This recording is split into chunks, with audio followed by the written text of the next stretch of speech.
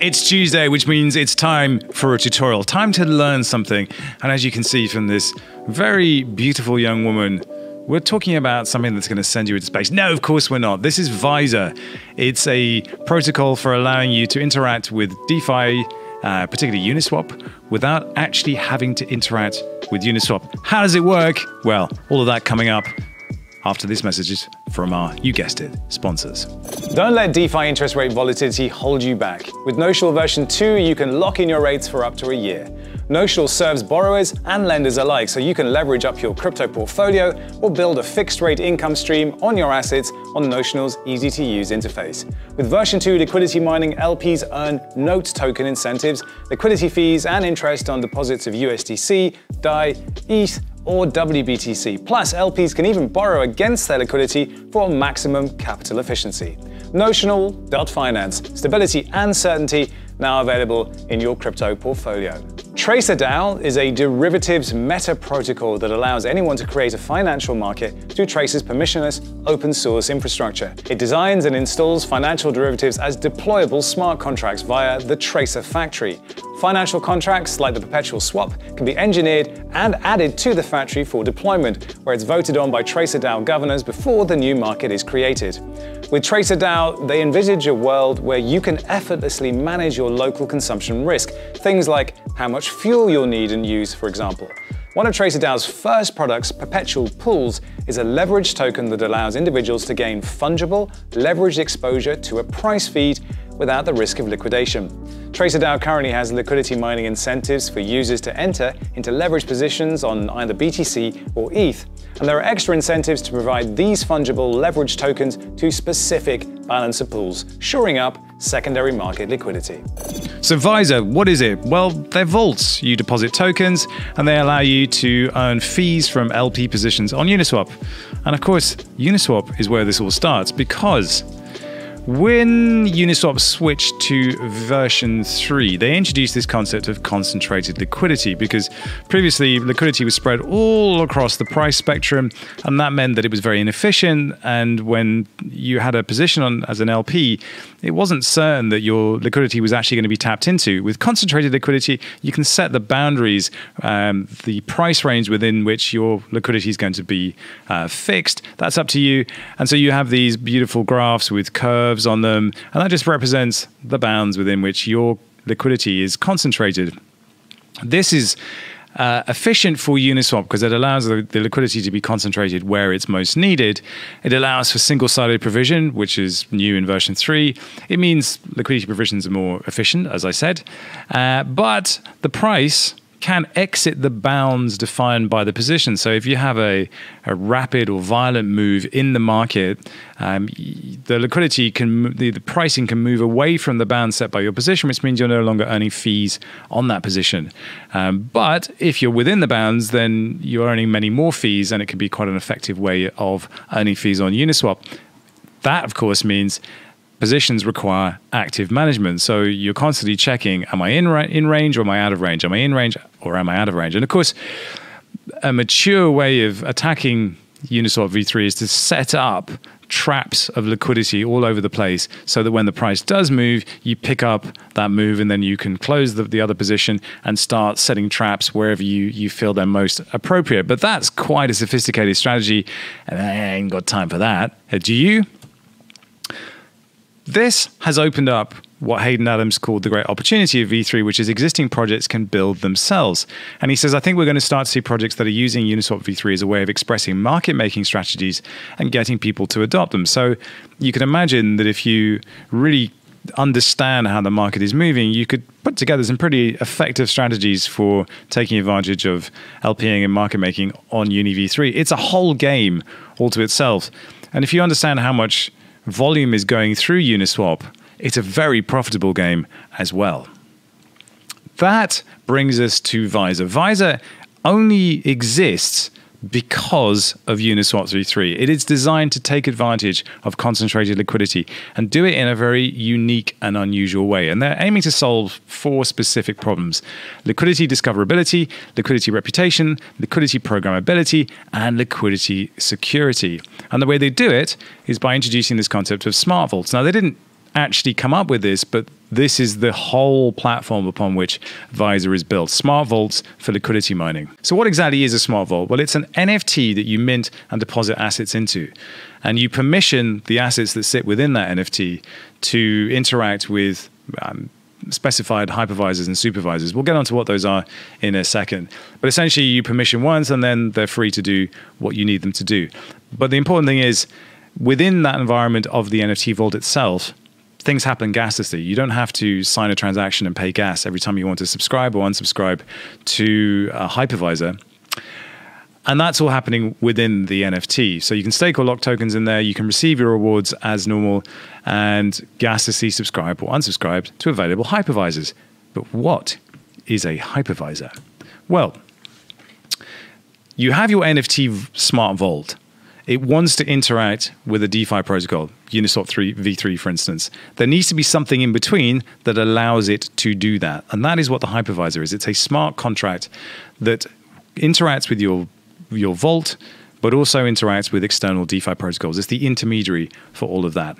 Then there's the supervisor, and the supervisor is a controller that carries out asset management for you. So it will rebalance your position and it will do all of that actively on your behalf. So the supervisor is working with the hypervisor to coordinate where your liquidity is positioned. Sound good? And all that happens without you having to do anything. If that sounds too complicated for you, you can also stake Visor. Uniswap doesn't allow you to reinvest fees. So you take your fees and it doesn't then compound them for you, but Visor does. So when Visor captures protocol revenue, it takes 10% of the fees that are reinvested collects those up and then use them to buy back the Visor token distributing that Visor to anyone who's staking within the vault. So if you don't want to supply assets, you can simply buy the Visor token itself, stake it, and then earn fees based on everyone else earning fees. It's not a massive APR, but it's a pretty kind of straightforward one, and it allows you to capture um, a piece of all of the action that's going on on the Visor platform, which might be of interest to you.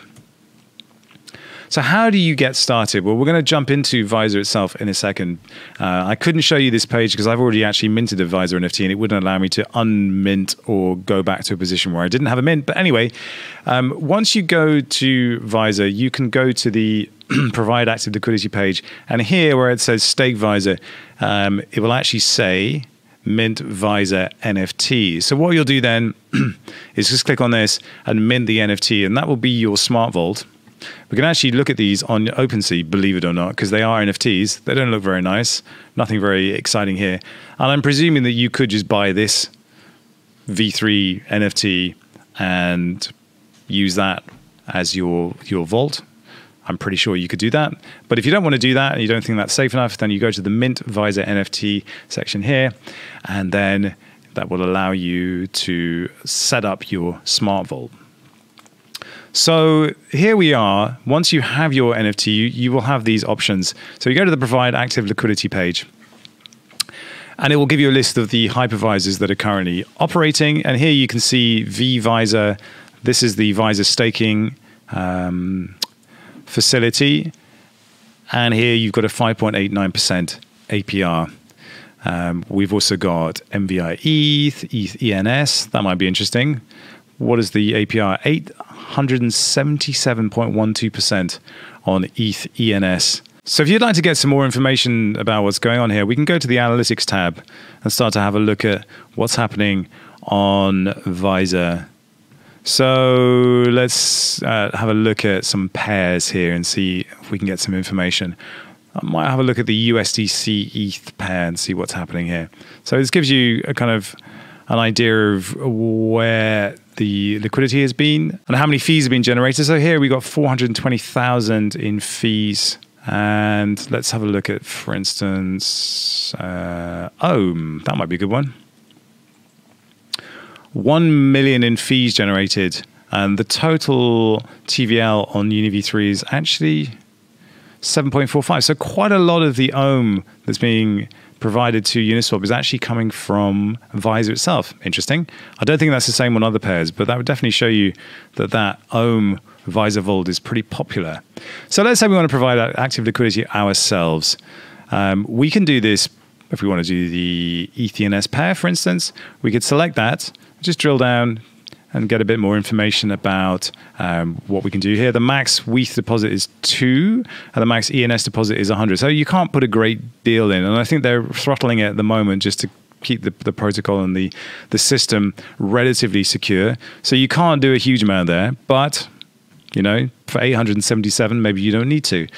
So the next thing you're to do is click on Vault Deposit, um, and it will give you a warning here. Proceed with caution. DeFi is bleeding edge technology. While this hypervisor has been audited out of an abundance of caution, you should not deposit more than you're willing to lose. Wise words. So we'll proceed here, and then we have a, an option here. We can choose single asset liquidity or double asset liquidity. So you can deposit ETH. Actually, I think you're going to be depositing WETH, uh, or you can deposit ENS. Let's go ahead and choose single asset liquidity. And then next. So I have 10 ENS tokens here, which I can supply. I'm going to go ahead and do that now. Then I have to improve that. So we'll go ahead and approve it. $30 to approve ENS. It's not the worst. So we'll just wait for that to approve. One eternity later. So now what we need to do is go ahead and click next, then deposit and deposit your assets into your Visor Smart Vault. I'm not going to do that. Here's why. $275 in gas.